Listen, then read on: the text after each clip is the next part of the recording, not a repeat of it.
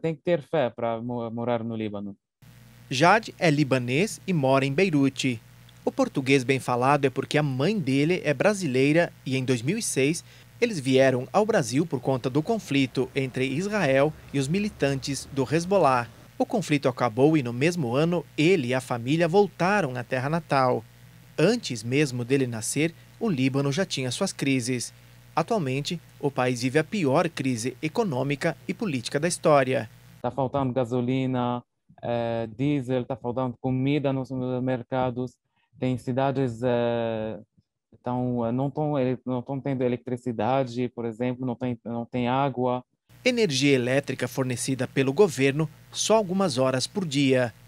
Agora, o gerador que está fornecendo uh, uh, a eletricidade, por causa não tem a eletricidade do governo.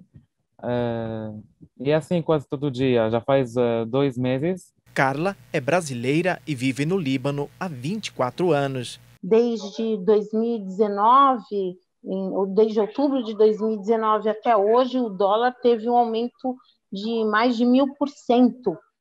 Então, isso é muito ruim para a economia, uma vez que o país mais importa do que exporta. Diante da crise que assola o país, o Papa Francisco convocou para esta quinta-feira o dia de oração e reflexão pelo Líbano.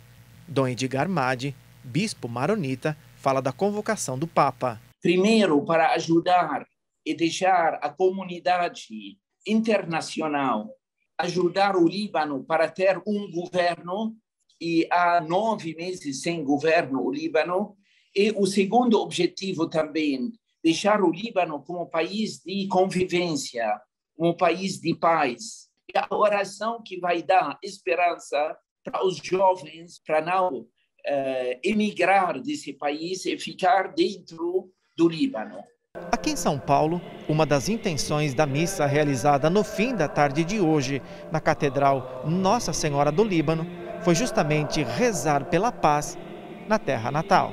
Maria Helena é chilena, mas veio rezar a pedido de uma amiga que é libanesa. Vim de manhã, recei aqui até meio-dia e aí vi que tinha missa, então voltei para rezar pelos nossos irmãos libaneses.